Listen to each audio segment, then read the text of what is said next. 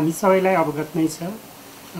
आगामी दुई हजार अठहत्तर साल वैशाख सत्र गते पहिलो चरणमा र सत्ताइस गते दोस्रो चरणमा प्रतिनिधि सभा सदस्यको निर्वाचन सम्पन्न गर्ने गरी सरकारबाट मिति घोषणा भइसकेको छ।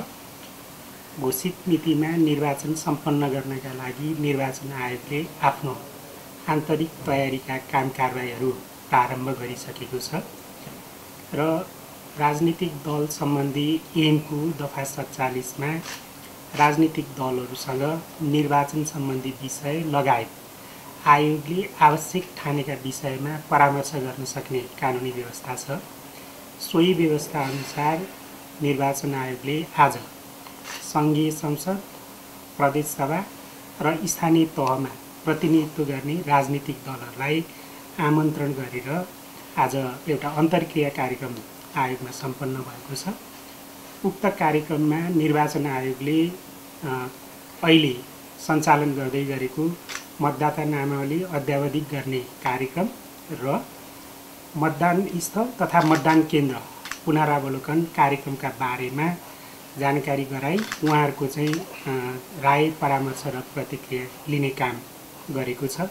र कार्यक्रममा आयोगले राजनीतिक दलहरूसँग कार्यक्रममा सहभागी भइदिन।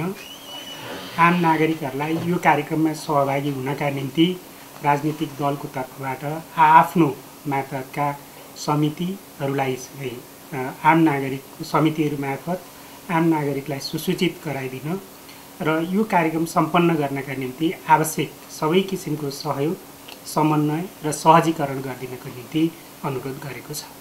सरकारले तोकेको मितिमा निर्वाचन सम्बन्धी काम सम्पन्न गराउन आयोगको संवैधानिक जिम्मेवारीभित्र पर्छ। त्यो काम आयोगले अगाडि बढाएको छ र निर्वाचन आजको तयारीले भोलि सम्पन्न हुने विषय होइन। यसका लागि चाहिँ लामो विधि प्रक्रियाहरू चाहिँ पुरा गर्नुपर्ने हुन्छ। र रहेको कुरा यहाँले चाहिँ जुन निर्वाचन चाहिँ रोक्ने अथवा निर्वाचन सम्बन्धी विषयलाई अगाडि नबढाउने कुरा छ आयोगले एउटा आधिकारिक र वैधानिक निकायबाट त्यो किसिमको नि निर्देशन भयो भने आयोगले त्यसलाई मान्छ। तर त्यो निर्णय र निर्देशन नहुँदैमा अनुमानका भरमा आयोग रोकिने भन्ने कुरा चाहिँ त्यो आयोगको जिम्मेवारीभित्र पर्दैन र आयोगले त्यसो गर्नु पनि हुँदैन।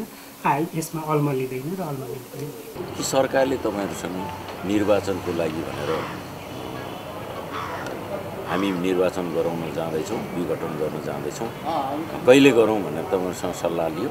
निर्वाचन ऐन अनुसार त त्यो सल्लाह लिनुपर्ने व्यवस्था पनि छ।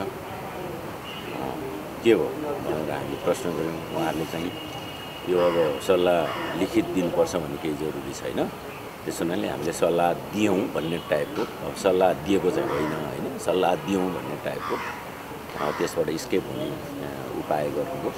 र अर्को हामीले के पनि उठायौँ भने निर पुसको पाँच गतिबाट भोटर लिस्टमा नाम थप्न पाइँदैन अब उमेर पुगेका भए पनि। अनि पुसको पाँच गतिबाट एकातिर भोटर लिस्टमा मतदाता मतदाता हुनको लागि योग्य उमेर भए पनि पाइँदैन। अर्कोतिर तपाईँहरू एक खालको निर्वाचनको आचार संहिता सुरु भइसक्यो। अर्कोतिर तपाईँहरू के गर्दै हुनुहुन्छ भन्दाखेरि निर्वाचन आयोगभित्रको न्याय परिषदले सरुवा गर्नुपर्ने सहसचिव कानुनको सहसचिवलाई सरुवा गर्ने काम भएको छ। र किन निर्वाचन आयोगले तपाईँहरू आयुक्तहरू प्रमुख निर्वाचन आयुक्त र आयुक्त सदस्यहरू तपाईँहरू किन यसको बारेमा लड्नु भएन?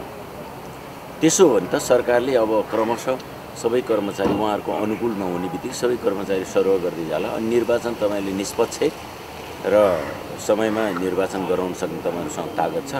छैन। त्यसो हुनाले यो कुरा तपाईँले सच्याउनुहोस् भन्ने खालको कुराहरू पनि हामीले उठायौँ।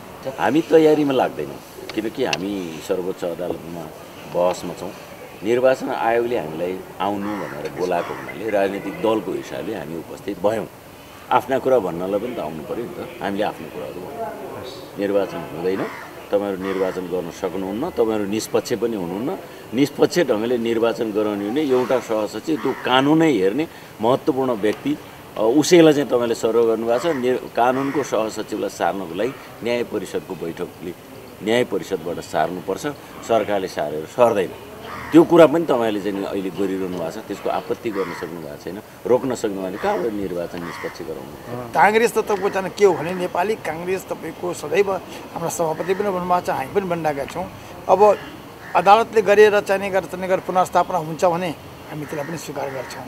होइन भनेदेखि अब अहिले जुन संसद छैन एउटा जनताको प्रतिनिधित्व गर्ने सक केन्द्र नभएको अवस्थामा यो देशलाई अन्यलमा चाहिँ पुर्याउनु त हुँदैन नि।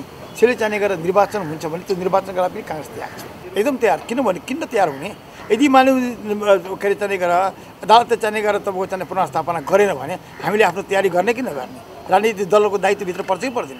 त्यसैले त्यो चाहिँ पनि हामीले दुई पक्षमा अर्थात् तपाईँको चाहिँ अदालतले चाहिँ गर्ने निर्णयको पनि चाहिँ हामी सुविधा गर्ने हो। र अहिले जुन चाहिँ निर्वाचन आयोगले चाहिँ निर्वाचनको तयारी जो गरिरहेको छ त्यो पक्षमा पनि हामी छौँ।